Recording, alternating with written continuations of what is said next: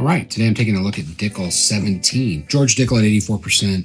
Uh, corn has always been one of the more flavorful, I would even say rustic whiskeys out there. Under Nicole Austin, their new master distiller, lots of cool new releases. This is older Dickel. This is expensive. This is like $280 a bottle, but wanted to taste it and get an idea. At 92 proof, it's listed at cask strength. So proof really dropped in these over the years but you can tell just by the color alone that it's going to be an oak bomb and that's exactly what you get on the nose. So it's got the mature nose of like a Stagg or a Stagg junior even and it's got um, that nice kind of initial pop of oak but then beneath that is a kind of a classic Dickel peanut butter aroma or like peanut butter powder as well. Both really nice. Um, stick a sip. Mm, spicy right up front and there's kind of a leather in the mid palate.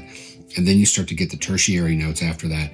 You get kind of a creaminess, you get a toffee, a caramel, there's a plum in here. It's a really interesting combination of sweet, spicy, and oak all together all at once, but that oak really dominates. So if you want a whiskey for the end of the night to just finish a meal, this is it.